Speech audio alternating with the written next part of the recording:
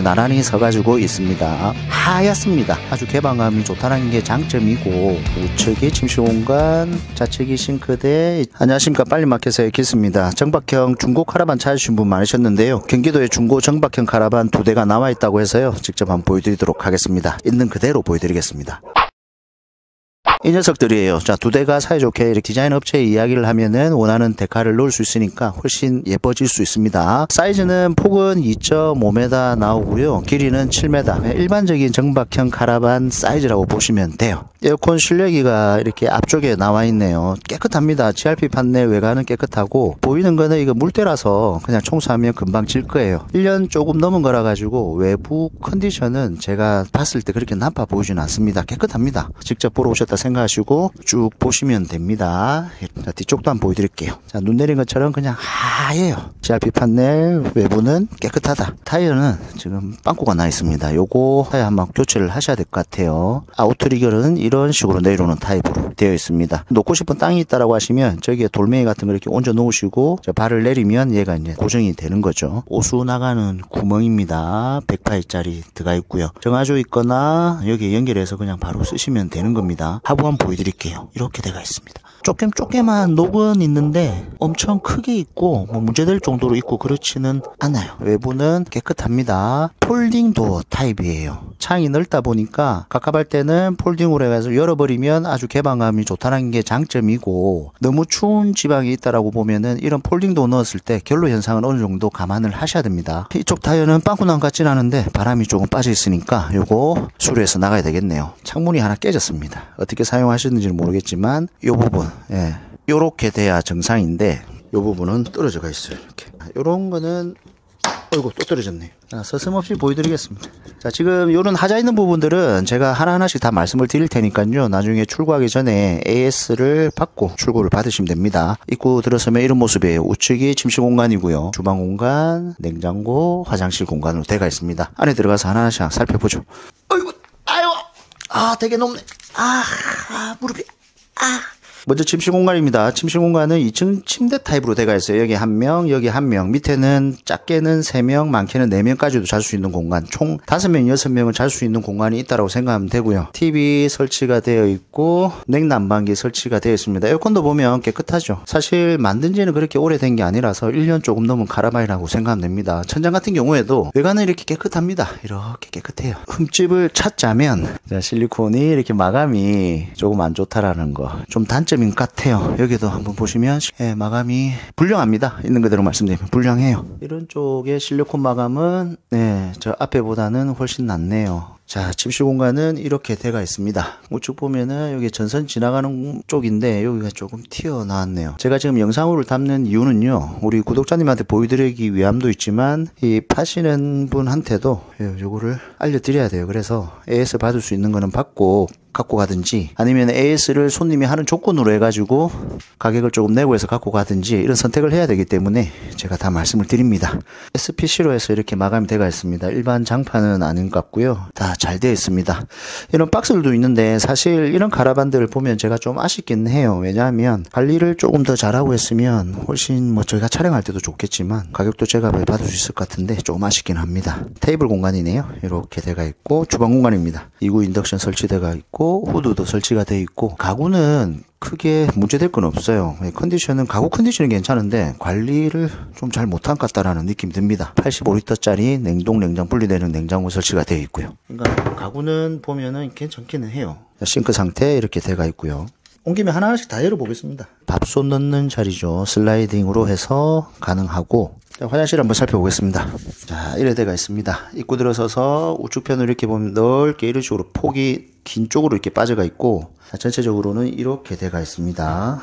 대성 셀틱 온수기 설치가 되어 있고요. 변기 설치가 되어 있고 세면대까지 거울 싹 다 있어요. 실리콘은 조금 네.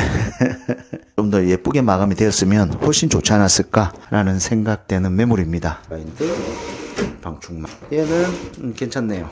블라인드를 올리면 또 느낌이 또 다르죠. 이런 식으로 돼가 있다 보시면 됩니다. 구조는 괜찮습니다. 4명, 5명 충분히 잘 수 있는 공간이고 화장실도 넓게 빠졌고 주방 시설이 있고 냉장고, 후드, 인덕션, 드라이기도 있고 밥솥 다 있는데 아마 이런 거는 다 줄 것 같습니다. 자, 이런 애들 보면은 조금 아쉽기는 하죠. 이런 folding door가 멋지게 있기 때문에 경치 좋은 데 가면은 체감 개방감 정말 좋을 것 같은데 실리콘 마감이라든지 가구들 이런 좀 마감들이 조금 아쉬운 부분이 있기는 있어요. 제가 이런 부분들을 왜 말씀드리냐면 그래도 제 유튜브 채널을 보면서 우리 구독자님들이 먼 길을 이렇게 오신단 말이에요. 정박 카라반 매물이 중고가 잘 없다 보니까 발품을 조금 팔더라도 이렇게 멀리서 오시는 분들이 많으신데 이런 하자가 있는 이런 부분들 설명을 안 하고 좋은 점만 말씀을 드린다라고 하면은 얼마나 배신감이 크겠습니까? 그래서 제가 말씀을 드리고요. 이 매물을 본 결론 한번 내어보도록 하겠습니다. 얘는 사용한 지는 1년 조금 넘었는데 조금 험악하게 사용을 했다. 타이어가 하나는 바람이 빠져가 있고 하나는 펑크가 난 것으로 추정이 되기 때문에 교체를 해서 사용을 해야 될 것 같고요. 외관 같은 경우나 내부나 뭐 이렇게 벽체 같은 경우 실내 실외는 깨끗하고 마감이 괜찮아요. 하지만 창문이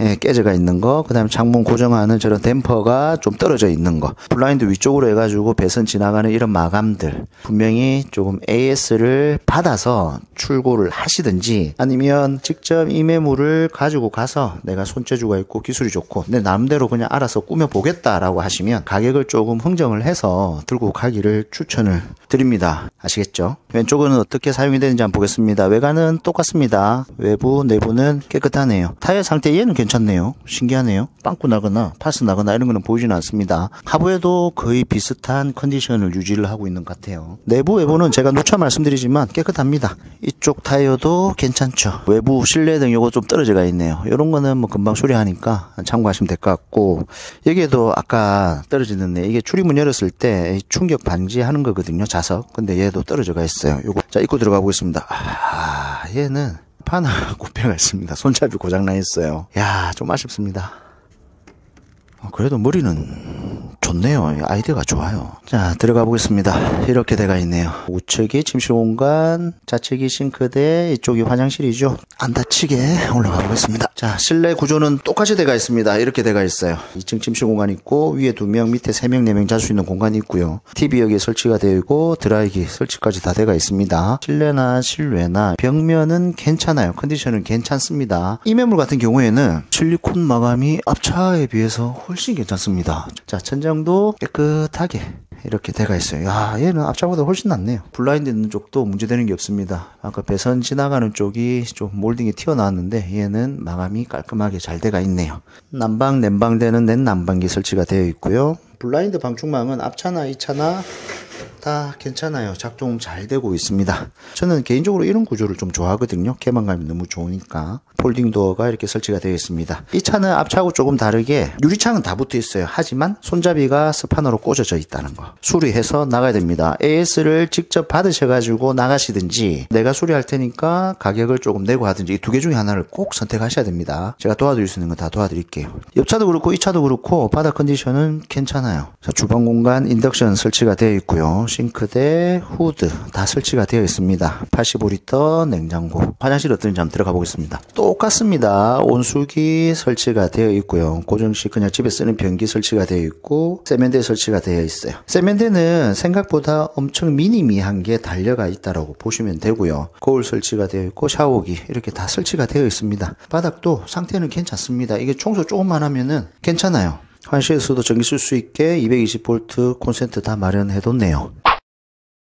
자, 두 번째 카라반까지도 한번 살펴봤습니다. 제가 간단하게 정리를 한번 해보도록 하겠습니다. 저 같으면 오쪽 카라반보다는 이 카라반을 선택하지 않을까 싶습니다. 하지만 이 카라반도 조금 손을 봐야 될 때는 있어요. 손잡이가 부셔져서 AS를 받고 가셔야 편안하게 사용을 할 수 있다라는 생각이 들 것 같고요. 중고 정박형 카라반 이렇게 설명을 조금 하는 유튜버 입장으로서 이 매물이 진짜 마음에 든다라고 하시면 덜렁대고 그냥 뭐 사고 이렇게는 하지 마시고요. 어, 요런 부분, 요런 부분 AS 이왕 받으실 때 그 부분까지 다 조치를 받고 좋은 추억 가지시는 게 어떻겠나 싶습니다. 새거 살려고 하니까 조금 너무 비싸고 직원 숙소 정도나 창고 대용 뭐 농막 대신 간단하게 놓고 저렴한 것만 있으면 된다라는 고객님들 저한테 전화를 많이 주셨는데요. 간만에 정박형 카라반 매물 두 대가 나왔습니다. 캠핑카에서 촬영 영상이든 중고 카라반 촬영 의뢰든 제가 이 매물을 다 확인하고 올라오는 게 아닙니다. 촬영 날짜가 잡히고 직접 오면 그제서야 이 카라반을 보게 되거든요. 이 카라반의 원래 판매가는 정해져가 있었는데 한번 쭉 둘러보니까 이거는 판매가를 조금 다시 조금 조정하거나 그렇게 좀 해야 되지 않을까 싶어서 아마 이 영상이 올라갈 때쯤 되면 판매가는 최종 확정이 돼 가지고 올라갈 거고요. 그거는 제가 고정 댓글로 해서 가격을 말씀을 드리도록 가겠습니다.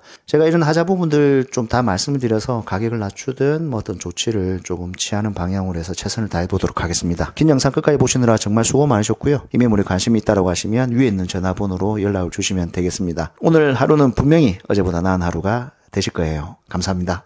이 정화조를 선택하게 된 계기가 있습니까? 뭐 일단은 냄새도 안 나고 그러니까 환경적으로 해서 좋은 것 같아요. 정화조 팔려면은 땅 파고 하는데 뭐 400 들거든요. 비싸지도 않고 딱 좋은 것 같아요.